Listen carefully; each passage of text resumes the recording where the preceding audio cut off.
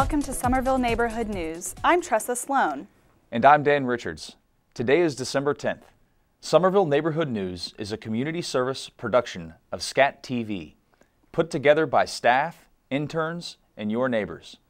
We bring you the news every two weeks right here on Channel 3 and on our website, scatvsomerville.org, where you can watch the news in your language.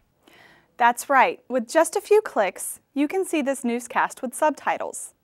Tonight, our reporters bring you stories on the rise of heroin use in Somerville, on the Brickbottom Open Studios, on sports and the pep rally at Somerville High, and on plans for development in Union Square. But first, let's look at the big news from the past two weeks. Somerville scored. Partners Healthcare decided to consolidate many of their offices in Assembly Square. They'll be taking the spot that was going to be occupied by IKEA. That's right. Over 4,000 employees will be working from the new Partners headquarters, and the company will be making a contribution to the city in lieu of taxes. In the November 26th broadcast, we covered this issue, if you missed the show, you can find it on our website. Police are asking everyone to be on the lookout for this man, who they suspect robbed the Santander Bank in Davis Square on December 5th. Kudos to the Somerville Patch for circulating the photo so quickly. That same day, hundreds of kids were already on the lookout, but not for a robber, for Santa. He stopped by City Hall to turn on the lights for the Christmas tree and the menorah.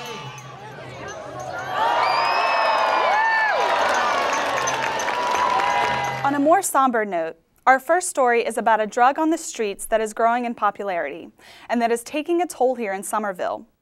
Heroin is something you tend to think happens to people you don't know and in neighborhoods that are far away, but not anymore. Reporter Kami Wood has the story. You can see it's actually moving, so it's like a liquid form. Heroin.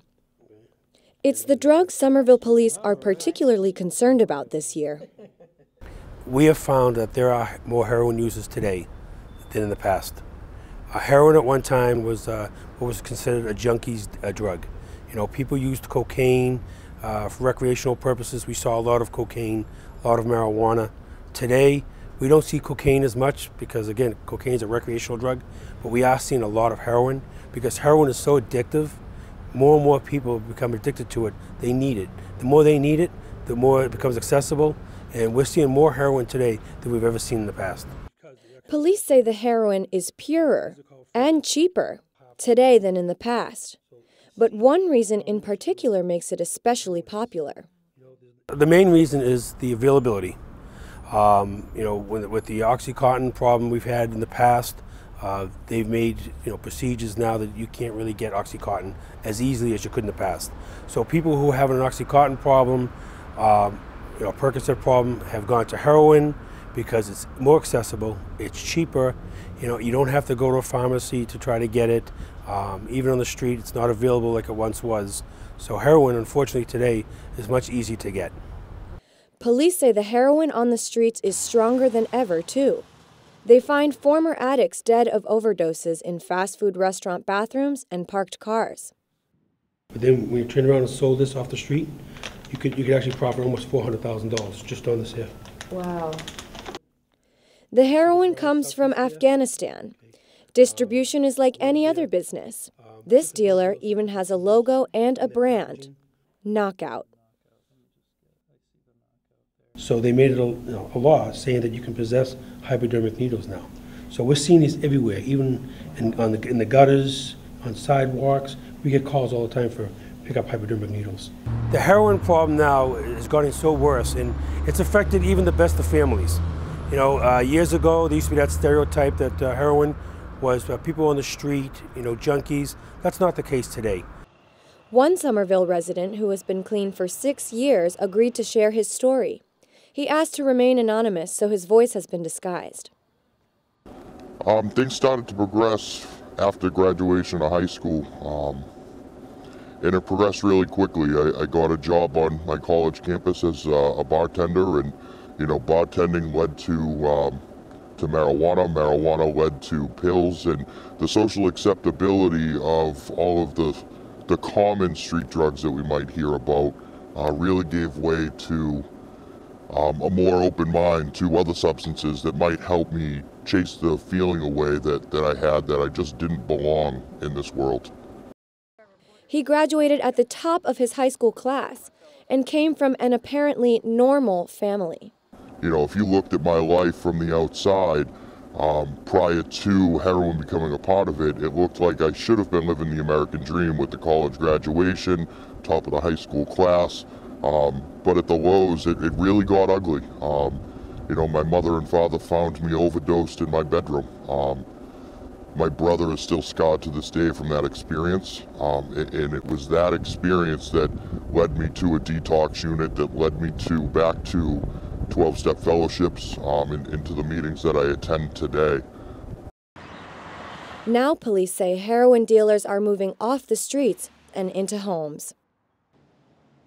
We've seen that the street corner dealing pretty much in Somerville has subsided. We don't see that often. Um, because of the discreetness we see a lot of narcotics use uh, coming from residents, coming from houses, and narcotics dealers are now trying to get into residential neighborhoods where they won't be detected. You know, they'll blend in with, with their neighbors. Um, unfortunately for, for them, that uh, you know, we get a lot of good information from people who reside in neighborhoods. They want to protect their neighborhoods and tell us about oncoming traffic and what's going on in the neighborhoods. So it's, it's been very helpful to us.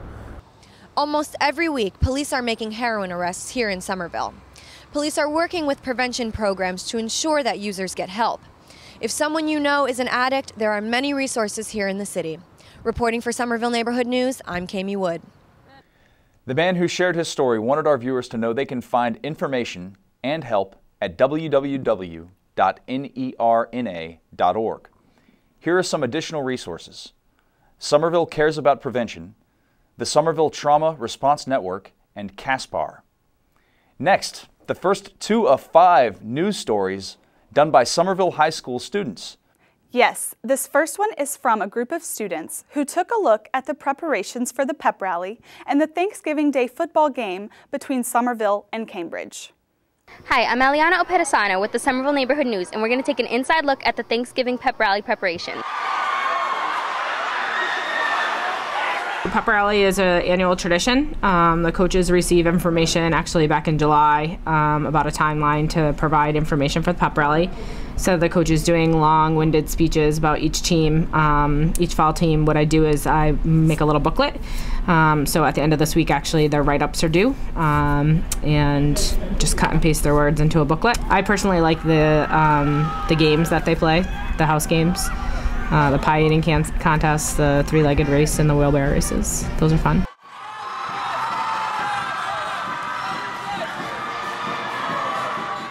Let's see how the football team prepares for pep rally and the Thanksgiving game. We have way more different workouts. We have some new coaches, and we're working a lot harder. Well, the team has been working really hard for the Thanksgiving game. It's probably, other, other than the, in the playoff game, this is probably the most important game of the year.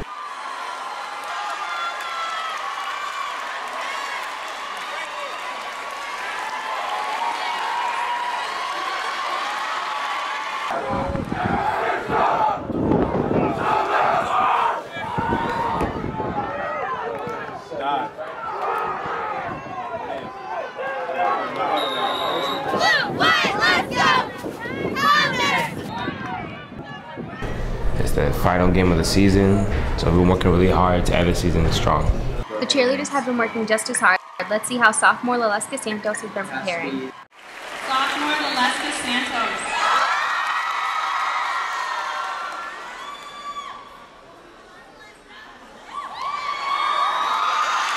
You like always go out on the mat not knowing if it's gonna hit or not, but you hope for the best. We get to express ourselves a lot on the mat. Like after a long day, if you're upset, you get to like take it out there and you get to spend time with people who become your family. We fix our routine to make it harder for regionals, so I'm pretty sure like you're gonna see some of the same stuff and mix it in with different things. And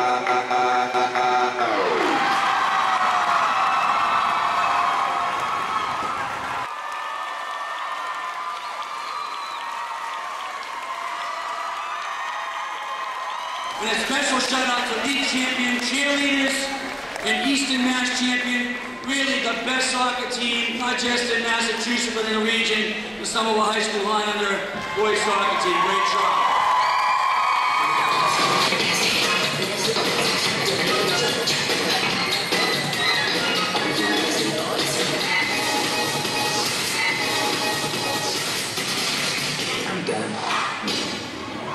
Guess all went well for the faculty and athletes at Somerville High. I'm Eliana Pedisano, youth reporter for Somerville Neighborhood News. Unfortunately, Somerville lost to Cambridge 7 to 41, but the school spirit couldn't be beat. Some other students put together a rundown of how the Somerville High School teams did this fall. The fall sports season has been full of excitement for athletes and fans at Somerville High School. The golf season gained a spark from Justin Carey's hole in one. Girls soccer finished 4 9 and 3, and senior captain Rachel Barry had a hat trick against Everett in girls soccer. Girls cross country finished 1 and 3, while the boys finished 3 and 1. Alice Egar and Paulo Guedes were GBL Invitational All Stars in cross country. The cheerleading team won the GBL championship and also participated in cheering on the walkers during the Walk for Breast Cancer Awareness. Great job, girls!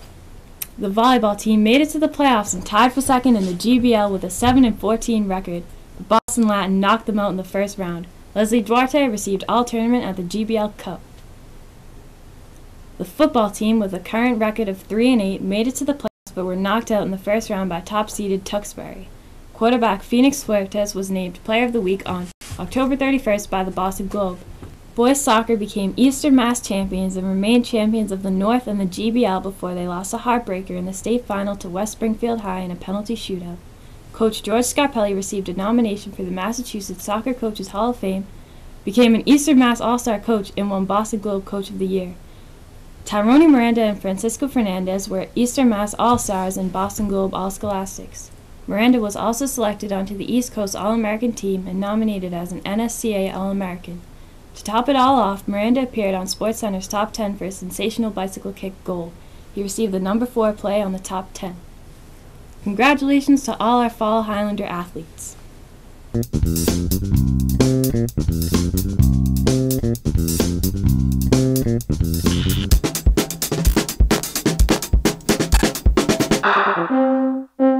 Hello, uh, this week's journal will have a lot of good stuff coming for you. We'll be looking at the latest developments at Assembly Square with Partners Healthcare set to come to the IKEA parcel.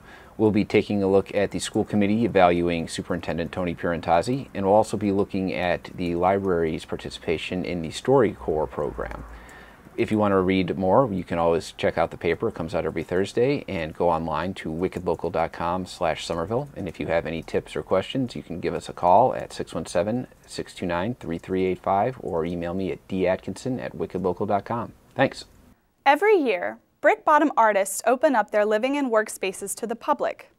Peter Balanon Rosen reports. Located in refurbished supermarket warehouses, Brickbottom Studios provides a home and workspace for nearly 150 artists. Some of the art is decorative art, uh, some of it is fraught with meaning and politics and angst, and um, some of it just makes you smile, and um, all of it should make you think. Open Studios originally began years and years ago when artists that were not affiliated with galleries opened their studios to the public so the public could discover new artists. Some artists in the building look forward to this event because they uh, it's quite a uh, important part of their income. Uh, whereas others, like myself, uh, do it more for a public service. The unique thing about our building is that it's residential as well as workspace. I know a lot of people like to see how people have decorated in their units. It's just a chance for the community to come and be inspired, to get their creative juices flowing. Visitors saw all kinds of art from over 60 Brickbottom members and sponsored artists. Some art was overtly political. Artists use the open studios as a way to connect with a new audience. I think I want to bring a new light. I mean, that light being um, making people aware of uh, that these exist and that the plight of the Indians is still very much um, on my mind and it should be on everyone's mind. This particular piece I'm very proud of. It's called Mission Accomplished with a question mark. Each pin in this map represents a soldier who died during Operation Iraqi Freedom. It's been placed in their hometown of record according to Department of Defense uh, casualty lists. This piece has received a lot of good uh, response. People think about it, or they're able to see stuff in context. The recession has squeezed some Somerville artists who don't always find a way to exhibit their work locally. A lot of the galleries that I used to show with are out of business now. So Open Studios is a great way for me to still have an audience. So having events like this gives people an opportunity to also see artists in their own space, which is a, a, totally different experience than seeing it curated in a gallery. Open Studios gives artists and residents a chance to participate in the art scene here in Somerville. For Somerville Neighborhood News, this is Peter Balanon Rosen. Brickbottom is an example of how a neighborhood can be turned around.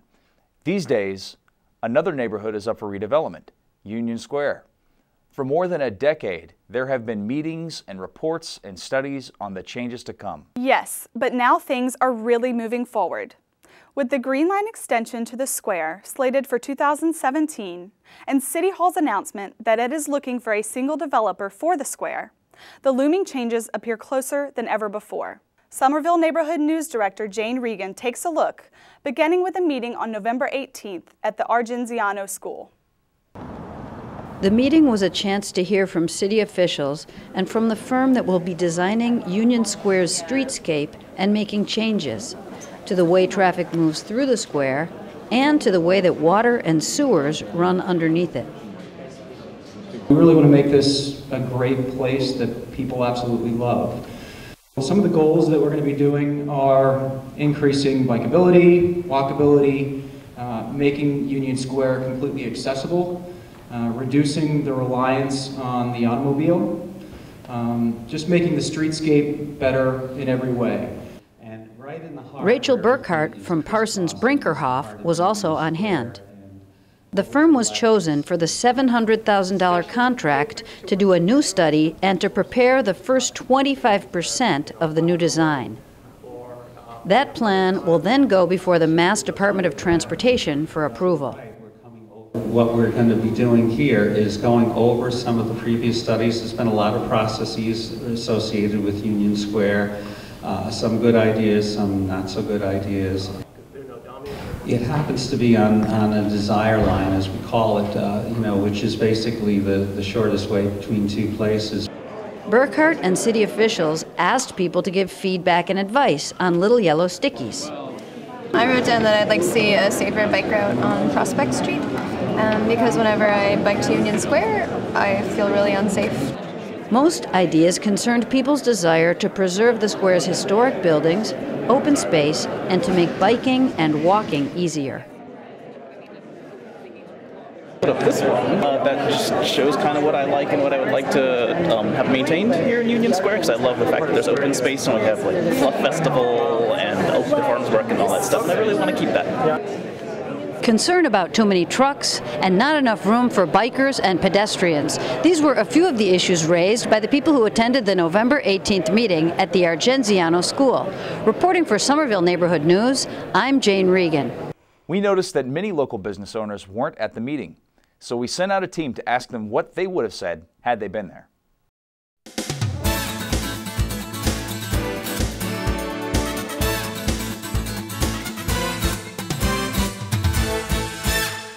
In your point of view, what improvements can be made to the parking, biking, and traffic situation here in Union Square? Se podría mejorar más el parqueo, no hay suficiente parqueo para la gente. Un kiosco para traer música. La gente se interesa en venir a escuchar la música y, y, y, después de la música venir a los negocios. No es solo un solo negocio. Sí, sí se puede poner más uh, luces para que los carros se paren y que la gente pueda cruzar.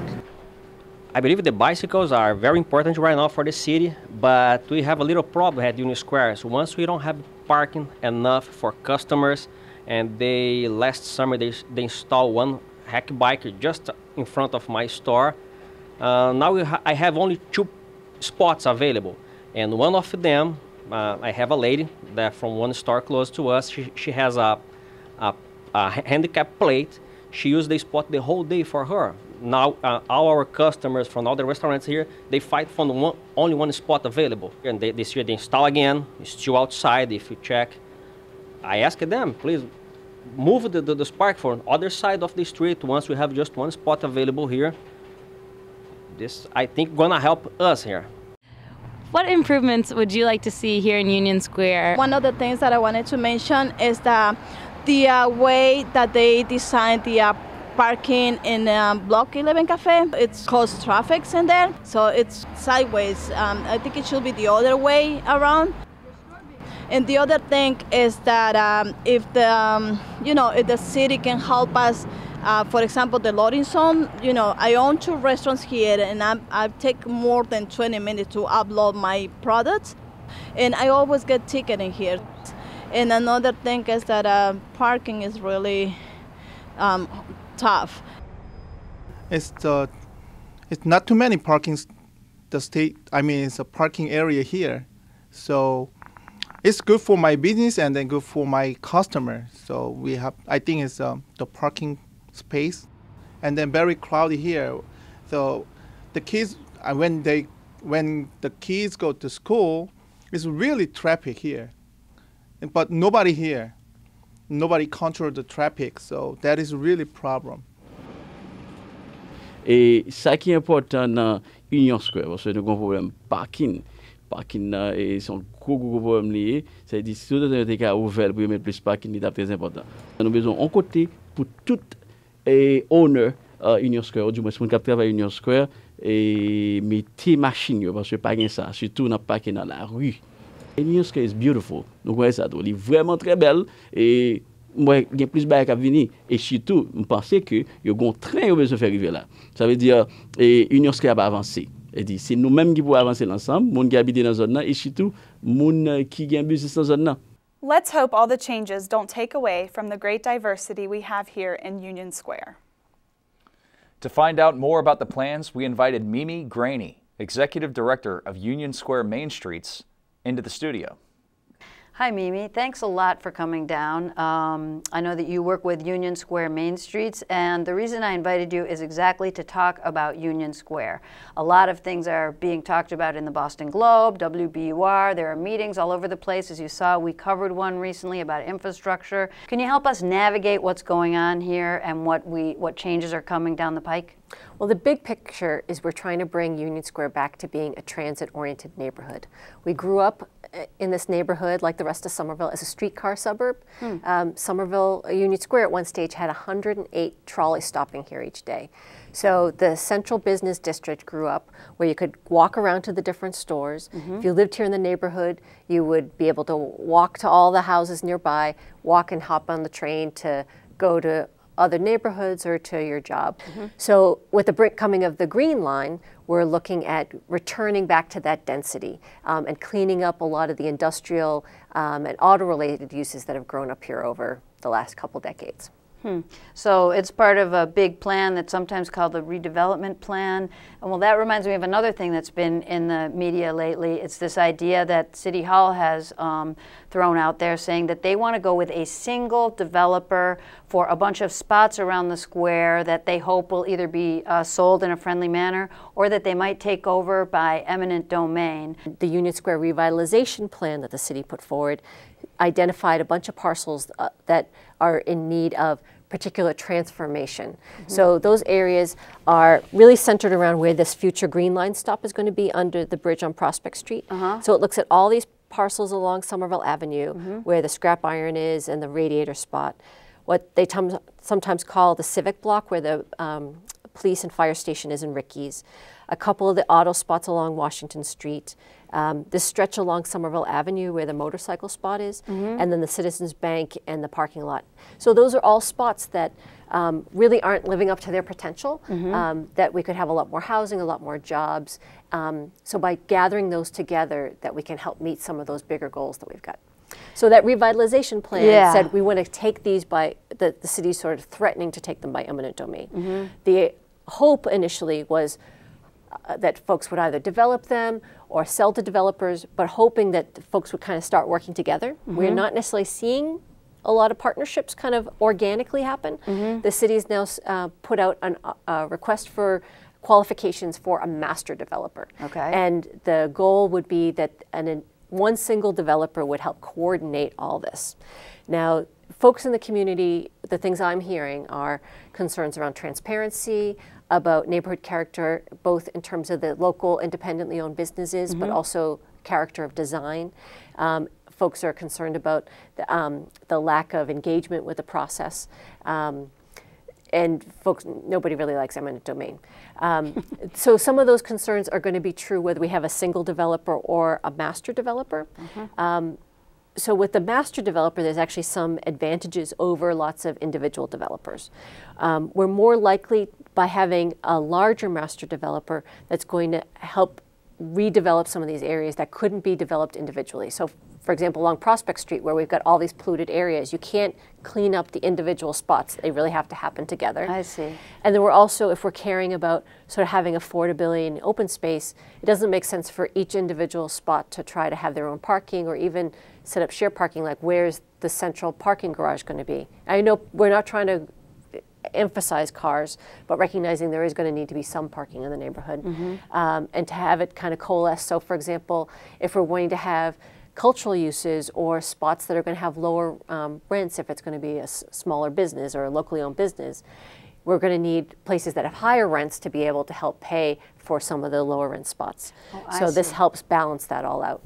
Um, so there is going to be a community advisory committee that's going to inform the city um, in their selection of who they think is the most qualified um, candidate, and will help um, craft that agreement with the developer. So this is sort of uh, it's like we're courting and we're looking for a new partner, um, and we're helping to say like this is our wish list of who we're looking for in a partner, and helping to craft that agreement. And this is only the beginning of what's hopefully going to be a long and fruitful marriage, um, and that it's going to be an ongoing dialogue. So each of the individual parcels as they develop under this master developer still have to go through the planning process and the zoning process and the design process, um, and that will in, in some ways be able to um, collectively help support those values that we're looking to see manifested in the neighborhood.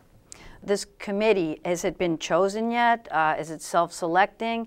And once it's set up, will there be a way that residents and business people can be influencing the committee and saying, hey, committee, I wish that you would put a little more, bit more emphasis here or there? There was a call for people to um, nominate themselves or be nominated for this committee. Um, that, that list is being finalized and is going to become public shortly.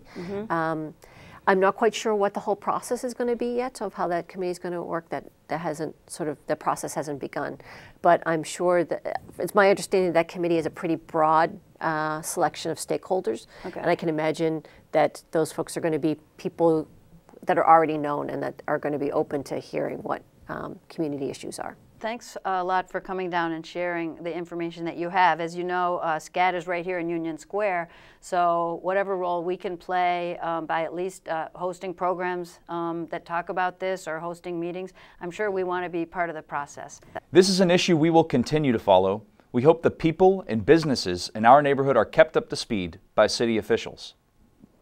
And that wraps up our broadcast. Thanks for joining us. We'll be back on December 24th. Remember that you can watch Somerville Neighborhood News anytime on our website, where you can view the news with subtitles in 44 different languages. If you want to get involved, or if you have any story ideas, drop us a line at news at scatvsomerville.org.